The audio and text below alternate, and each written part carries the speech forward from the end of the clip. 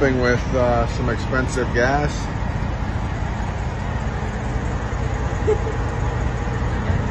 Just starting out.